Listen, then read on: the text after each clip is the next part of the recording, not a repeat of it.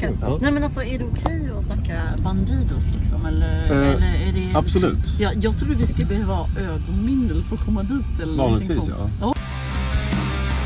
drawing a sigil, a symbol, my blood on it. was killed, you know, and they went to talk to the exorcists. We are here in Norwood, Sweden, Paris, Malta, Finland, Iceland. Ja, jag har ätit människa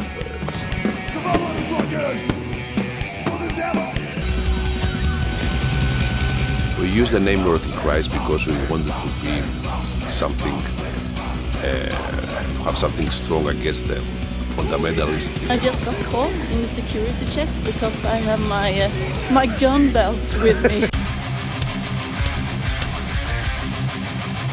he put the gun in my face and said, "Give me my your motorcycle." Who are you? They buried her alive.